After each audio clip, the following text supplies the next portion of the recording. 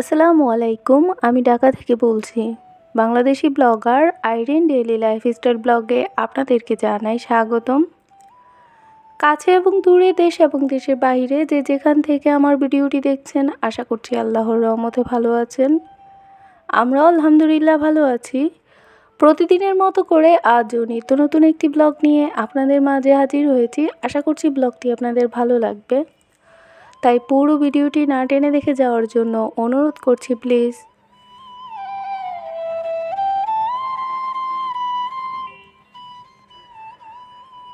তো এই তো আরেকটা নতুন দিন পেলাম। আল্লাহ আমাদের ভাগ্যে রেখেছেন। নতুন করে আরও একটা দিন পেয়েছি।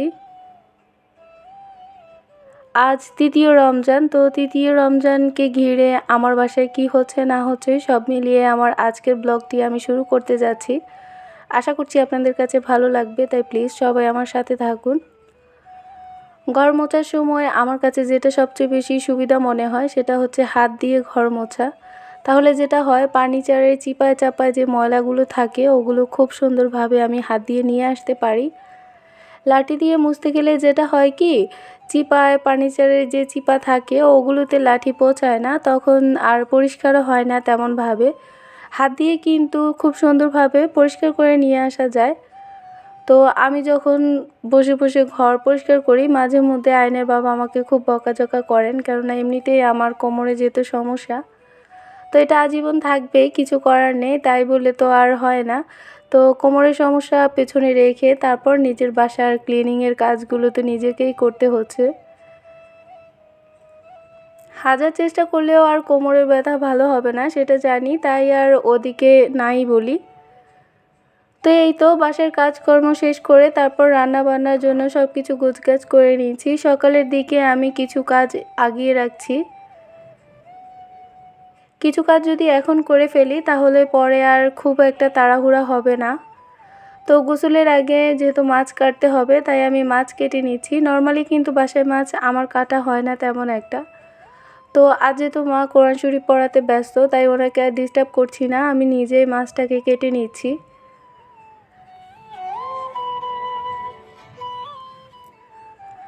নর্মালি প্রতিদিন আমি আপনাদেরকে যে রিকোয়েস্টটি করে থাকি, আজও তার ব্যতিক্রম করছি না, যারা যারা অলরেডি আমার ভিডিওটি দেখা শুরু করে দিয়েছেন। প্লিজ ভিডিওটি দেখা মাত্রই একটি লাইক দিয়ে দেবেন, কেননা আপনার একটি লাইকের কারণেই কিন্তু আমার ভিডিওটা আরও আরও অনেকের কাছে পৌঁছে যেতে সাহায্য করবে। এতে করে আমি অনেকটাই উপকৃত হব। আর যদি তা অলরেডি আপনি করে থাকেন, আপনাকে অসংখ্য ধন্যবাদ।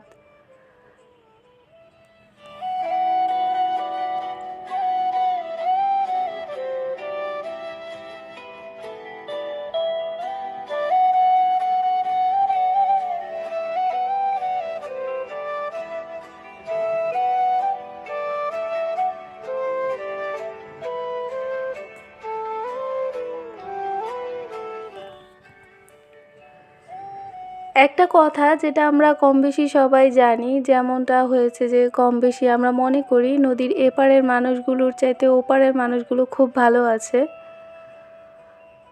তো যে যে পারে আছে সে কিন্তু ওই পারটাকেই মনে করে অনেক কঠিন। আর যে ওপার থেকে দেখছে, ও ওপারের মানুষগুলোকে বলছে যে আসলে ওপারের মানুষগুলো কতটা সুখে আছে। তা আসলে যে যে জায়গায় আছে, ওই জায়গার পরিবেশটা ও নিজেই বুঝে নিজে বুঝে সব কিছু সামলিয়ে নেয়। অনেকে মাছের ডিম বের করতে পারেন না সুন্দর করে, তো যেভাবে বের করবেন তার জন্যই আমি দেখিয়ে দিয়েছি। এভাবে কিন্তু খুব সহজে আপনি মাছের ডিম বের করে নিতে পারেন। ছোট ফাঁকটা দিয়ে আঙ্গুল দিয়ে আস্তে করে একটু ধাক্কা মারলেই কিন্তু মাছের ডিমটা খুব সুন্দরভাবে চলে আসে, এতে করে আর মাছটা খুলে যায় না। অনেকে হয়তো মাছের ডিম এভাবে গোটা রেখে তারপর বের করতে পছন্দ করেন, তো হয়তো অনেকে পারছেন না, আবার অনেকে হয়তো পারছেন। তো যারা যারা পারছেন না, তাদের সুবিধার্থের জন্যই আমি দেখিয়ে দিয়েছি, আশা করছি আপনারা বুঝতে পেরেছেন।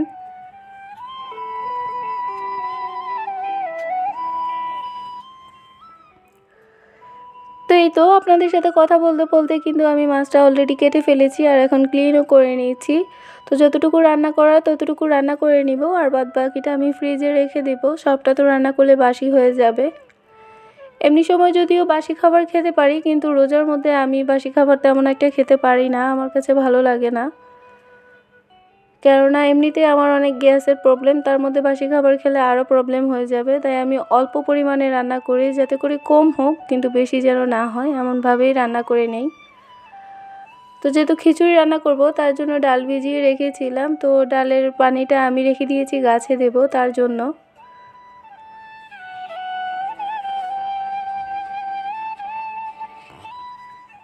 গাছের জন্য ডালের পানি চালের পানি, এগুলো কিন্তু অনেকটা উপকার। তো মাঝে মধ্যে মনে থাকে তখন রাখি, আর যখন মনে থাকে না, তখন রাখি না। তো বিকেলবেলায় আমি পানিটাকে দিয়ে দিয়েছি গাছের গোড়ায়।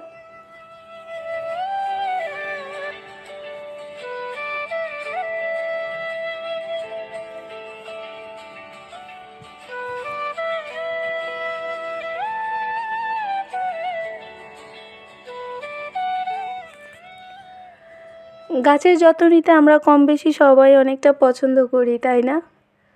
তো এই তো যেহেতু রমজান এসেছে, গাছের কাছে তেমন একটা আসতেও পারি না, তেমন একটা সময়ও দিতে পারি না। মাঝে মধ্যে এসে আবার চলে যাই, হুটহাট করে, তাড়াহুড়া করে কোনো রকম পানি দিয়ে আবার চলে যেতে হয়।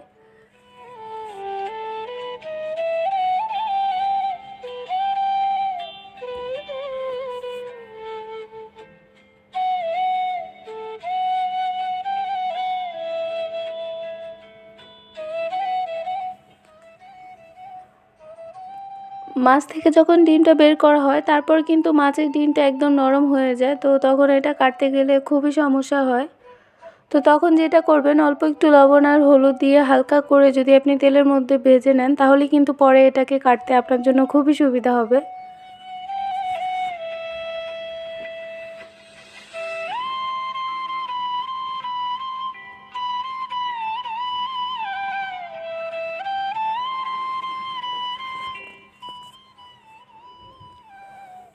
তো এই তো রান্না করার জন্য কিছু মাছ নিয়ে নিয়েছি। ওই মাছগুলোকে এখন আমি তেলের মধ্যে ভেজে নিচ্ছি।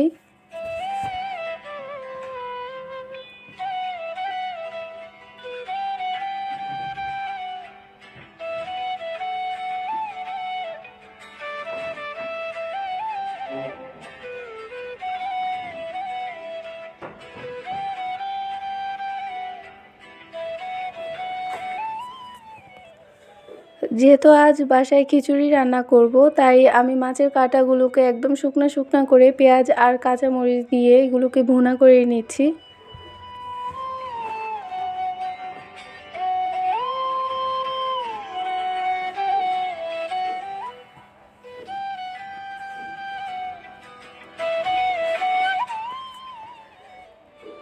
নর্মালি যেভাবে মাছ ভুনা করি, ওভাবেই আজ ইলিশ মাছটাও ভোরাতের জন্য আমি ভুনা করে নিচ্ছি।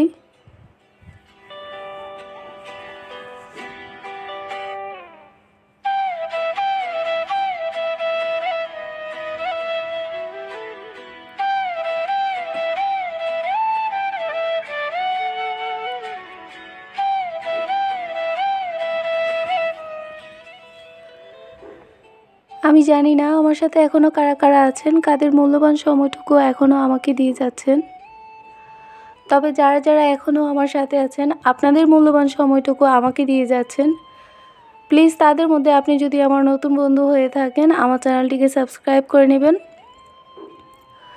পাশে থাকা বেল বাটনের অল অপশনটি অবশ্যই প্লেস করে রাখবেন, এতে করে আমার নিত্য নতুন ভিডিওটি ছাড়া মাত্র নোটিফিকেশন পৌঁছে যাবে। আর যদি তো অলরেডি আপনি করে থাকেন, আপনাকে অসংখ্য ধন্যবাদ।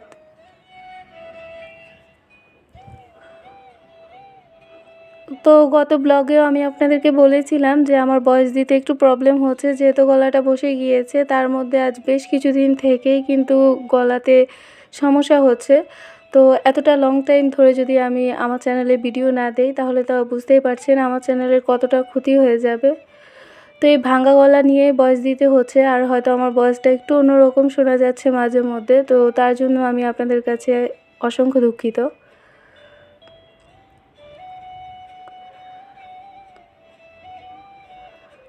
তো আমার শাশুড়ি মা ডিম ভুনা এভাবে খেতে পছন্দ করেন, তাই আমি ওনার জন্য এভাবেই ভুনা করে নিচ্ছি। নর্মালি মাছ ভুনার জন্য আমরা মশলাটাকে যেভাবে কষিয়ে নেই ওভাবেই আমি কষিয়ে নিয়েছি। একটু পেঁয়াজ বাটা, আদা, রসুন বাটা দিয়ে, সাথে একটু পেঁয়াজ কুচি, টমেটো আর কাঁচামরিচ দিয়ে মশলাটাকে পরিমাণ মতো লবণ আর হলুদ দিয়ে কষিয়ে নিয়েছি। তার মধ্যে আমি ভেজে রাখা ডিমটাকে দিয়ে দিয়েছি। মশলার সাথে ভালো করে কষিয়ে তার মধ্যে আমি এই তো পরিমাণ মতো পানি দিয়ে ডিমটাকে ভালো করে রান্না করে নিয়েছি। অফ ক্যামেরায় আমি এখানে একটু ধনে পাতা দিয়ে দিয়েছি।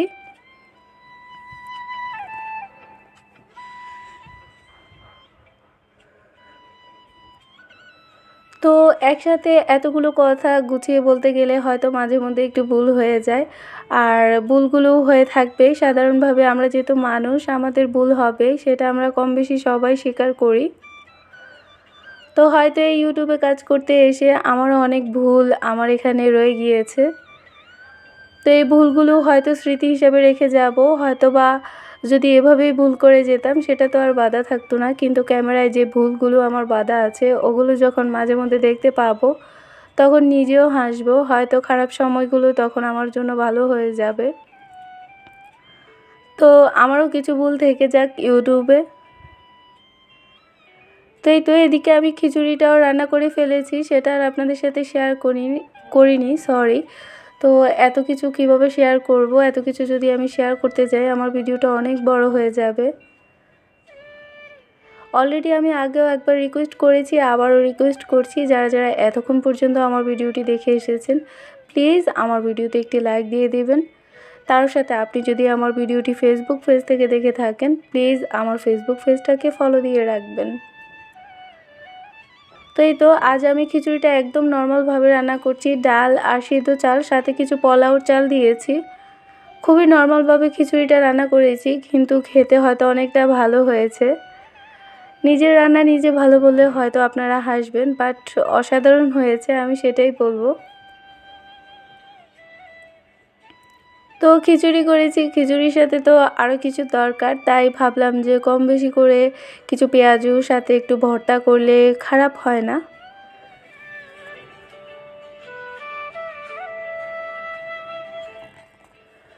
তো ওদিকে আমি পেঁয়াজু ভাজছি আর এদিকে আমার শাশুড়ি মা ভর্তা করছেন। যারা রেগুলার ভিডিও দেখেন তারা তো অবশ্যই জানেন যে আমার শাশুড়ি মায়ের হাতের ভর্তা কতটা মজা হয়। তো মা এদিকে ভর্তা করছেন, ওদিকে আমি আমার মতো করে আমার অন্য অন্য কাজগুলো করে নিচ্ছি।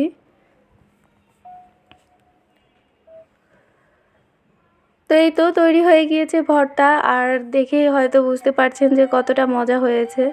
তো আজ তেমনভাবে কোনো ইফতার করিনি, পাশের পাশের ভাবি কিছু ইফতার পাঠিয়েছেন, তার সাথে আমি ফল কেটে নিয়েছি আর শরবত বানিয়েছি। সাথে তো আপনাদের সাথে শেয়ারই করেছিলাম, পেঁয়াজু, ভর্তা, খিচুড়ি, এগুলো। তো আলহামদুলিল্লাহ, আজকের ইফতারে আমার যা যা ছিল সব মিলিয়ে আপনাদের সাথে শেয়ার করেছি। আশা করছি আপনাদের কাছে ভালো লেগেছে। তো কেমন লেগেছে অবশ্যই আমাকে জানাতেই ভুলবেন না। কেননা আপনাদের মূল্যবান মতামতই জানতে পারলে আমি নেক্সট আরও একটা ভিডিও নিয়ে আসতে অনেকটাই আগ্রহী প্রকাশ করি। একটা কিছু করতে গেলে একটা কিছুর কাছে আরও একটা কিছুর দরকার হয়। তো তেমনি আপনারা যেভাবে আমার পাশে আছেন আপনাদের পাশে থাকার কারণেই কিন্তু আমি আবারও নিত্য নতুন আরও একটা ভিডিও নিয়ে আসার চিন্তা ভাবনা করি। তো সবসময় চেষ্টা করবেন এভাবেই আপনারা আমার পাশে থাকার, আমাকে সাপোর্ট দিয়ে যাবেন।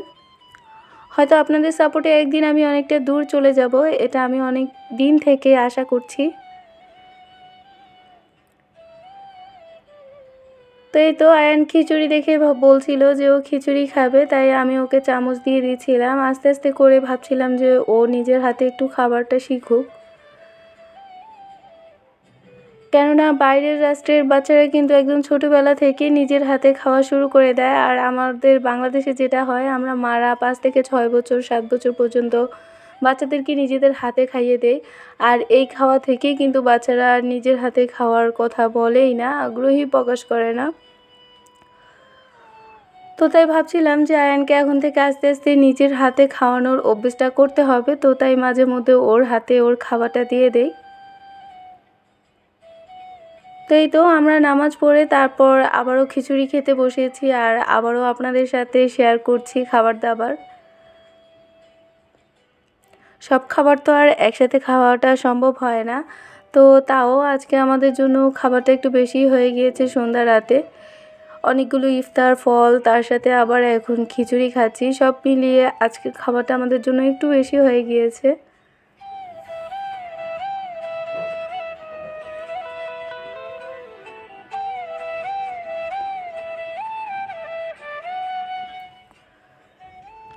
তো সবাই হয়তো ভাবছেন যে আমি কোথায় আছি? এখানে তো দুইজনকে দেখতে পাচ্ছেন খেতে। অবশ্যই আমিও ওনাদের পাশে আছি। আমি তো না খেয়ে থাকার বান্দা না, তো আমিও কিন্তু খাচ্ছি।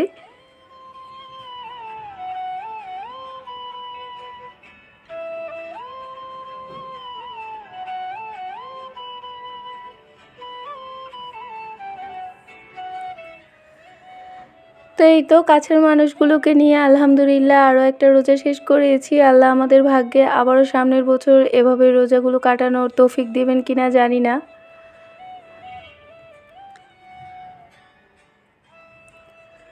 তো এই তো আমার আজকের ভিডিওটি কেমন লেগেছে অবশ্যই জানাতে ভুলবেন না। বরাবরের মতো করে আমি সবার সুস্বাস্থ্য কামনা করছি। আজকের মতো এখানেই বিদায় নিচ্ছি। সবাই ভালো থাকবেন, সুস্থ থাকবেন। আল্লাহ হাফেজ। আসসালামু আলাইকুম।